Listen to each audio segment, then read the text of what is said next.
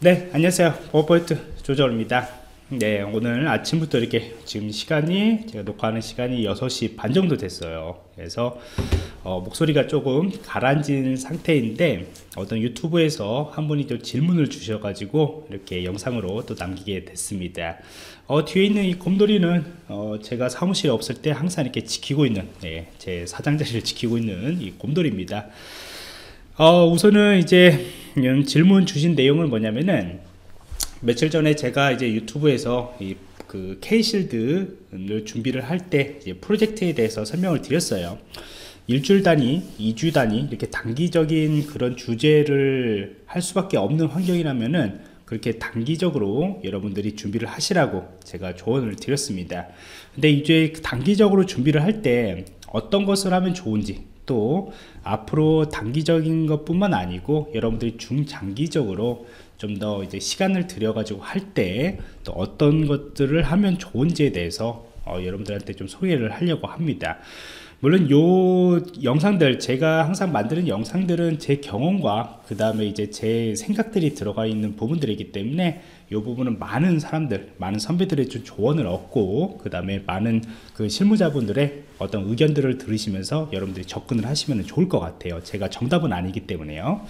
자 그래서 음, 한번 좀 우선 단기적인 부분들만 좀 보도록 하겠습니다. 그리고 저도 이제 교육을 할때 그 다음에 저희 모예킹 실무 과정들을 생들한테도 조언을 하고 있는 예, 그런 방법들입니다 우선은 첫 번째는 이제 제일 접근하기 쉬운 것들은 최신 동향에 맞는 공격 원리를 분석하는 보고서들이에요.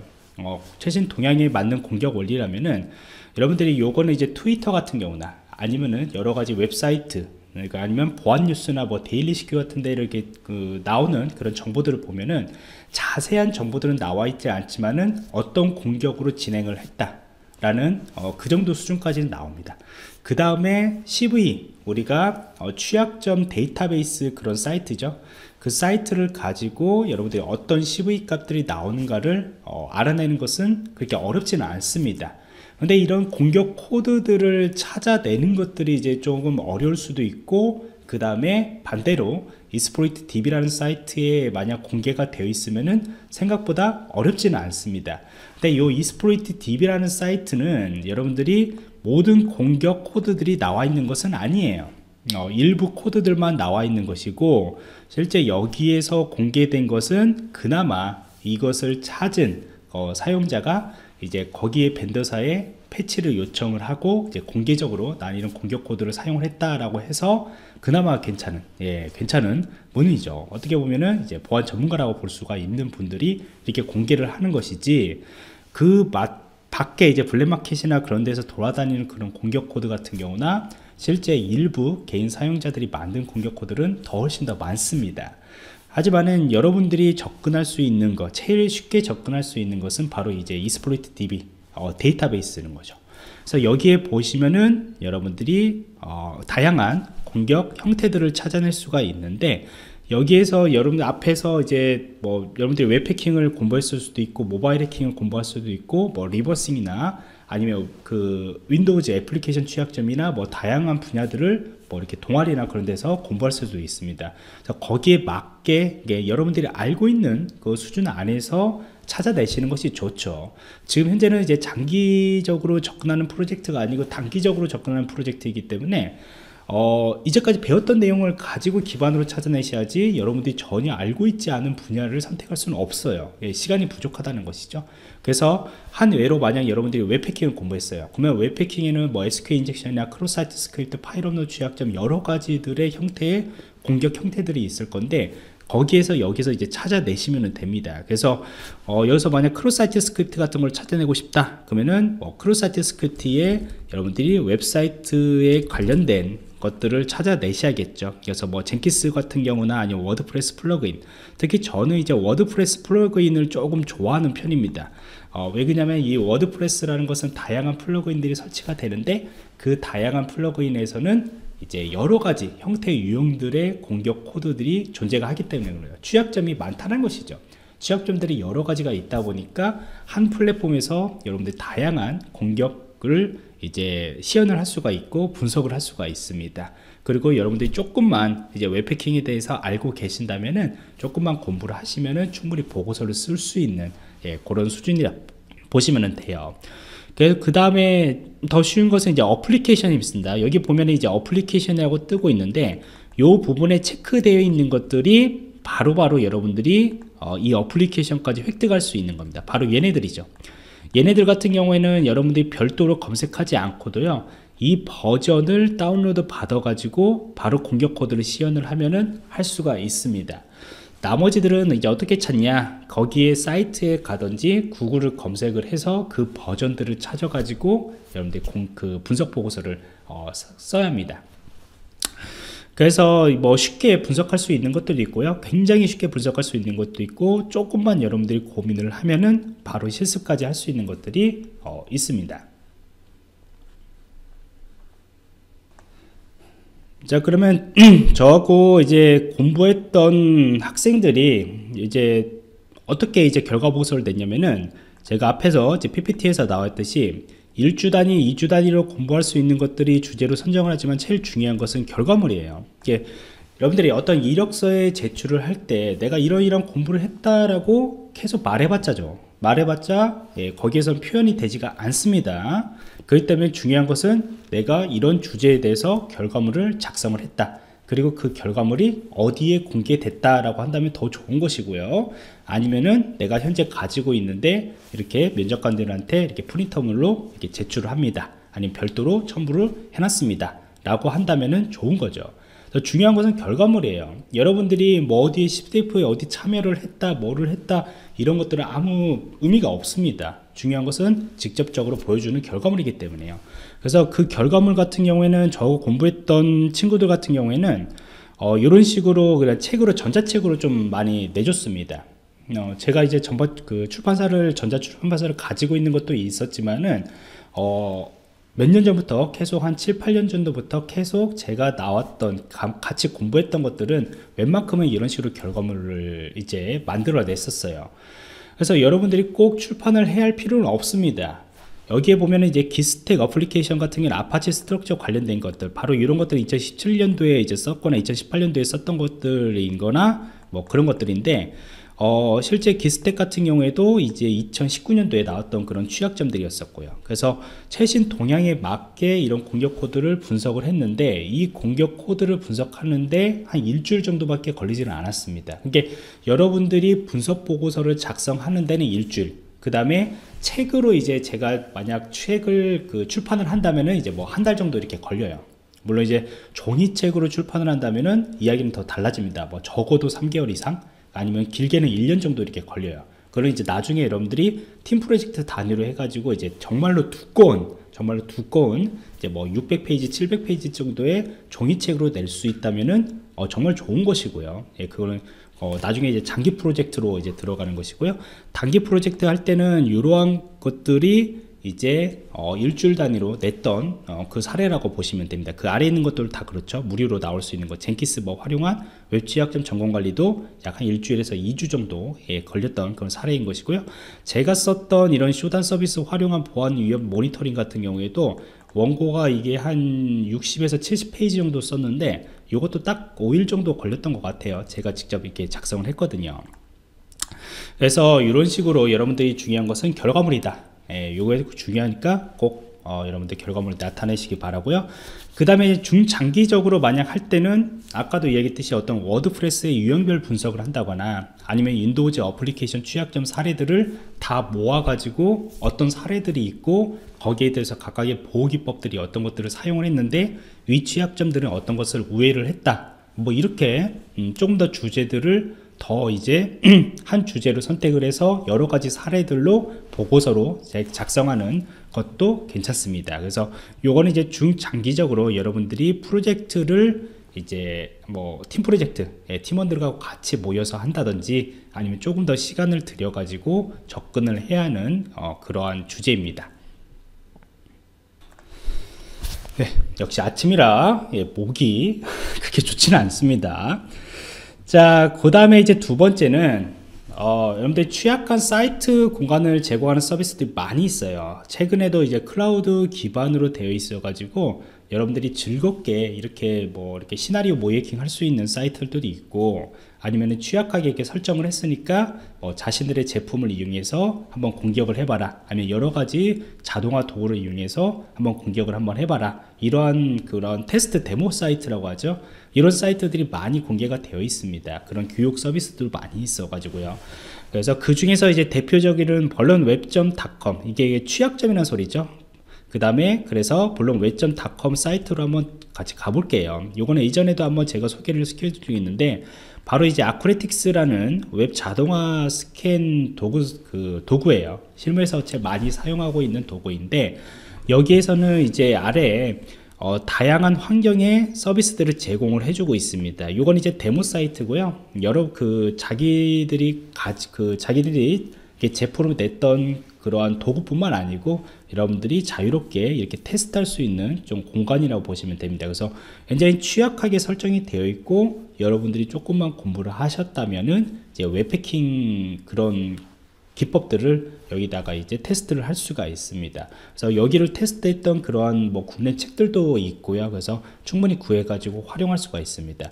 그래서 요것들을 다 분석하라는 것은 아니고 물론 이제 속도를 만약 여러분들이 속도를 낼 수 있다면은 아마 요거 보고서 작성하는데 한 2주 정도? 정말로 오래 걸리면 한 2주 정도 걸릴 것 같아요. 뭐 2, 3일에 하나씩. 그리고 여러분들이 모이해킹 실무를 진짜 가시면은 이런 도메인 수준 같은 경우에는 하루에 뭐 한 개 정도? 정말 빠르면 한 두 개 정도? 이렇게 어, 점검을 하게 되거든요. 그래서 결과 보고서까지 약 한 이틀에서 3일 정도 한 사이트 하는데 예, 그 정도 걸린다고 보시면 됩니다. 그래서 그거를 연습도 할 겸 여러분들이 또 웹패킹을 얼마나 많이 알고 있는가를 연습도 할 겸 한번 공부를 해보시면 좋을 것 같습니다. 그래서 여러 가지 이제 매뉴얼 해킹도 있을 거고요. 그 다음에 자동화 해킹도 있, 자동화 진단 도구를 이용한 뭐 이렇게 해킹도 어, 테스트할 수 있는 예, 그런 공간이라고 보시면 될 것 같고요. 그 다음에 이제 vulnhub.com이라는 사이트가 있습니다. 요거는 많은 분들이 아직은 뭐 모르시기도 하고 또 아는 분들은 많이 알고 뭐 그렇습니다. 학생분들은 많이 모르시더라고요. 자, 요거 사이트 같은 경우는 뭐냐면은 어, 여기에 이제 취약한 그러한 이미지들을 여기서 제공을 해주고 있습니다. 어, 취약한 이미지들을 제공을 해주고 있어서 여기를 클릭하시면은 여러분들이 여기서 다운로드 받을 수가 있습니다. 그래서 요거 이미지를 다운로드 받으셔가지고 가상 환경에다가 불러오시면 돼요. 거의 다 이제 VMware 환경에서 불러오시면 되고요. 그래서 가져오셔서 불러오시면은 어떤 사이트가 하나가 이렇게 작동이 됩니다. 그러면 그 사이트를 접속을 해서 그냥 아무런 정보가 주어지지 않아요. 루트 계정도 없습니다. 패스워드도 그런 것들도 주어지지가 않습니다. 그래서 요거를 이제 취약하게 설정을 해놨기 때문에 그 안에 있는 키값들을 획득을 하는 겁니다. 어떻게 보면 CTF라고 보시면 돼요. 그런 CTF 형식이지만은 이제 여러분들이 각각의 그런 취약한 이미지를 가지고 이제 테스트할 수 있는 어떤 시나리오적으로도 어느 정도 테스트할 수도 있겠지만은 그냥 그 이미지 하나 대상으로 어떤 키값들을 획득하는 과정 중간중간에 웹해킹이 들어갈 수도 있고 그 다음에 시스템 해킹이 들어갈 수도 있고 일부는 좀 이렇게 네트워크 해킹들이 좀 들어갈 수가 있습니다.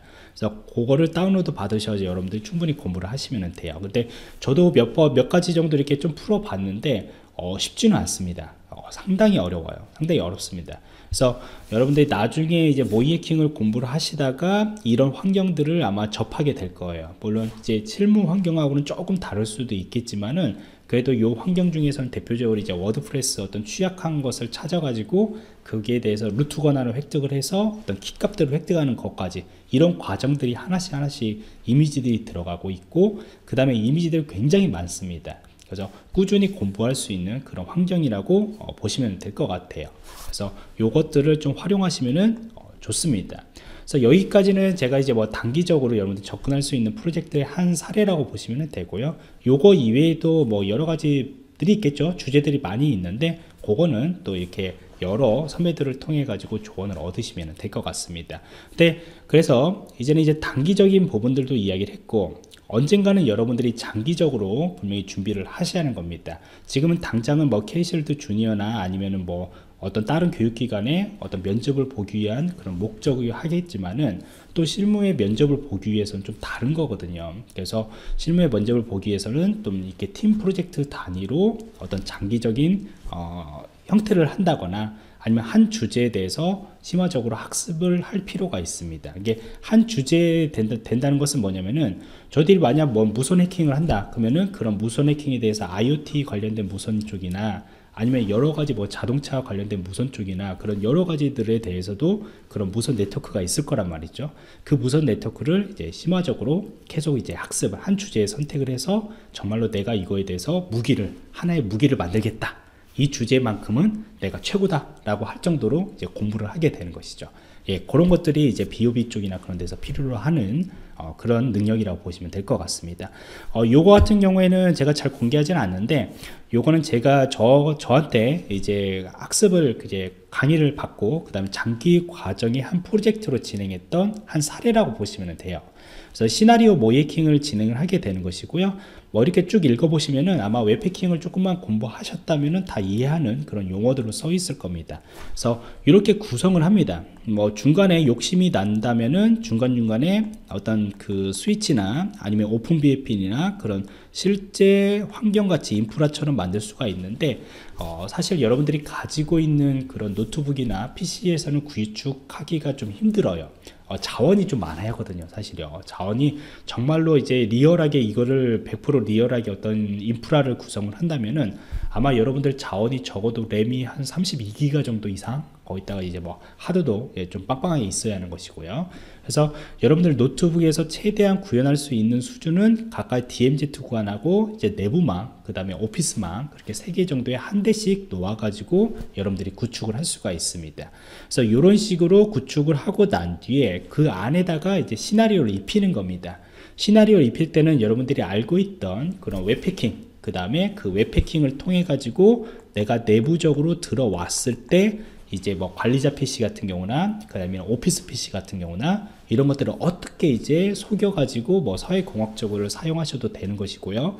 아니면은 이제 뭐 자동으로 실행할 수 있는 drive-by download를 할 수도 있는 것이고 그 다음 watering 공격까지도 진행을 해서 어떤 APT 공격이나 그런 것들을 이제 시연을 하게 되는 것이죠. 그래서 요거를 여러분들이 어, 다 시나리오까지 설계를 하고 또 어, 이렇게 시연까지 하고 하려면은 공부할 영역들이 많이 있겠죠. 웹해킹 뿐만 아니고 여기 같은 경우에는 이제 모바일 악성 앱이라는 것들도 이제 만들었거든요. 그러면은 모바일에 대해서도 어느 정도 공부를 했다라는 것이고요. 이 인원들이요. 그 다음에 이제 어떤 악성 코드에 대한 어떤 특징들, 그 다음에 그 악성 코드에 의해서 내부망에 들어왔을 때 그 내부망에서는 또 어떻게 오피스망이나 기타 여러 가지 다른 내부 시스템까지 들어갈 수 있는지에 대해서 공부를 하려면은 기본적인 어떤 명령어들, 윈도우즈의 명령어들이나 리눅스에 대한 명령어들, 그 다음에 거기에 대한 공격을 활용할 수 있는 그런 명령어들을 다 조사를 해야 하는 것이고요. 그 다음에 인프라를 고려를 한다면 아까처럼 여기다 제대로 인프라를 구현을 한다면은 어, 공격을 하는 과정에서도 이런 접근 권한 문제로 인해서 이렇게 공격들이 진행이 되지 않는 경우들이 많이 있습니다. 실무에서는요. 그게 이제 어, 교육으로 할 때하고 실무하고 접했을 때하고 좀 차이점 그 갭이라고 보시면 되는데 여러분들은 그냥 뭐 어, 제 입장에서는 항상 공부할 때는 다양한 취약점들과 그 다음에 다양한 환경에서 여러 가지들을 실습을 하는 것들이 훨씬 더 좋기 때문에 너무나 이렇게 강화를 시켜놓지는 마세요. 예, 적당히 어, 인프라를 구축을 하고 난 뒤에 그 실제 좀 다양한 취약점들을 경험하는 것이 더 좋습니다. 그래서 이 정도 수준까지만 하셔도 여러분들이 나중에 취업을 할 때도 좀 큰 도움이 아마 되실 거고 그 다음에 이제 뭐 부가적으로 이야기하면은 이러한 시나리오 기반의 어떤 설계를 한다거나 컨텐츠를 개발을 한다거나 이런 것들이 다 나중에는 이제 모이킹 업무 중에 하나로 여러분들한테도 올 수가 있습니다. 그래서 그런 것들을 고려를 하시고 이렇게 장기 과정으로 좀 준비를 하시면은 어, 좋을 것 같아요. 그러면은 이런 시나리오를 이제 몇 개 정도 하냐? 보통 저 같은 경우는 한 3개에서 4개 정도는 적어도 만들어서 여러분들이 테스트 해야 할지 않을까 예, 그렇게 생각을 합니다 그래서 좀 길게 제가 이야기를 했습니다 그래서 어, 앞에는 이제 단기 과정에 대해서 단기 과제에 대해서 좀 이야기를 했고요. 뒤에는 이제 장기 과정 과제를 어떻게 여러분들이 준비를 하면 좋을지에 대해서 쭉 이야기를 드렸기 때문에요. 학습에 좀 도움이 되셨으면 어, 좋겠습니다